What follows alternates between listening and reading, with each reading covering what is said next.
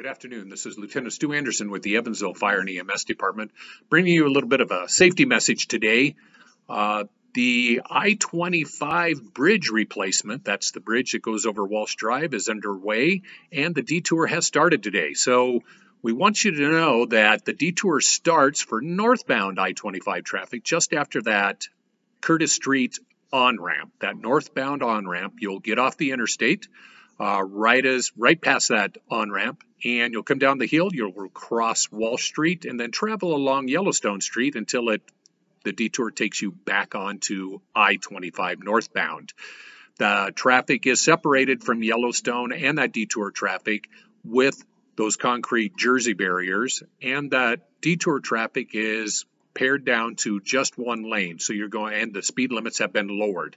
So you're going to have to slow down. You're going to have to travel single line, uh, single lane, and then get back on onto the interstate. Uh, southbound interstate traffic will exit right after that Yellowstone on ramp. It'll get off. It'll parallel the interstate. You'll cross Walsh and then go up a hill to the Curtis Street southbound off ramp and you'll have that choice of turning right and going down that off ramp or going straight and continue your journey southbound on I 25. So, either way, you're going to have to slow down, going to have to take your time. It's going to take a little extra time getting through that area. Uh, traffic at times might be a little thicker, a little heavier, so you're going to have to slow down even more. So, you need to plan for extra time or plan a different route. Either way, it might take you a little extra time getting to your destination, whether that be at work or for some other reason wherever you're traveling. So we just wanted to tell you uh, that it's going to be that way. It's going to be that way for some time, uh, a couple of years. Uh, so we want you to slow down, uh, give the respect that you need to do to those highway workers, those people that are out. We don't want any accidents. We don't want anybody getting hurt. Uh, slow down. Uh, pay attention to through those work zones. Put down that cell phone. Don't be talking on the cell phone.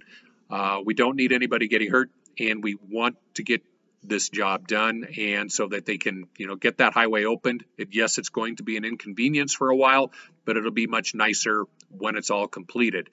So we just wanted to let you know that detour has started. So if you are traveling uh, for those residents here in Evansville if you're using if you normally use I-25 you might want to try a different way. If not hey uh, just plan on a little extra time. For those folks that live on the east side of Casper or have business on the east side of Casper, or those traveling into uh, Casper from the east side, you need to give yourself extra time.